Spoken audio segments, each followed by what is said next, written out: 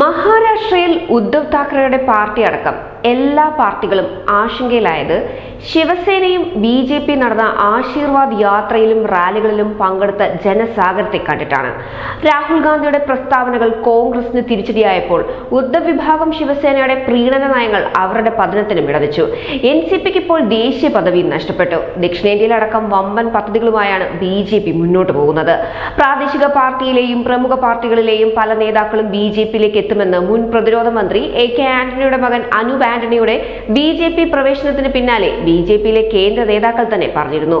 Maharashtra B J P സംസ്ഥാന അധ്യക്ഷൻ ചന്ദ്രശേഖർ ഭവാൻകുലെ ഇക്കാര്യം പറഞ്ഞതോടെ ഉദ്ധവിന്റെയും കോൺഗ്രസിന്റെയും ചങ്കെടുപ്പും കൂടിയിരുന്നു.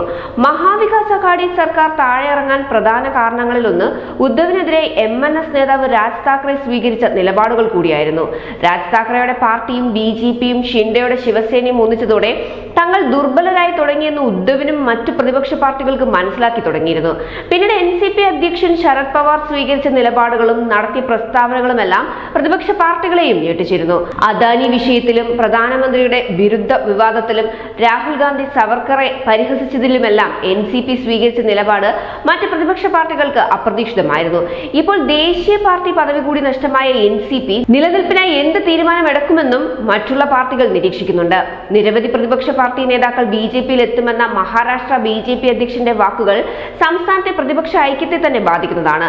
ബജറ്റ് സെഷന് മുന്നോടിയായി നേതാക്കൾ പാർട്ടിയിൽ എത്തുമെന്നും സംസ്ഥാന അധ്യക്ഷൻ പറഞ്ഞതിന് പിന്നാലെ ബി ജെ പി നിരവധി പ്രതിപക്ഷ എം എൽ എമാരുമായി ചർച്ച നടത്തുന്നുണ്ടെന്ന് ബി ജെ പിയുടെ മുതിർന്ന നേതാവും വ്യക്തമാക്കിയിരുന്നു. എന്നാൽ ഇത് കൃത്യമായ സമയമല്ലാത്തതിനാൽ പൊതു തെരഞ്ഞെടുപ്പിന് മുന്നോടിയായിട്ടായിരിക്കും നേതാക്കൾ പാർട്ടിയിൽ എത്തുന്നതെന്നാണ് ബി ജെ പിയുടെ മുതിർന്ന നേതാവ് പറഞ്ഞത്.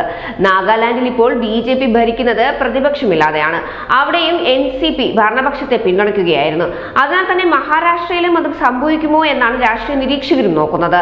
അങ്ങനെ സംഭവിച്ചാൽ അത് കനത്ത തിരിച്ചടിയാകുന്നത് ഉദ്ധവിനായിരിക്കുമെന്നതിലും തർക്കമില്ല. ന്യൂസ് ഡെസ്ക് ന്യൂസിന്റെ മലയാളം.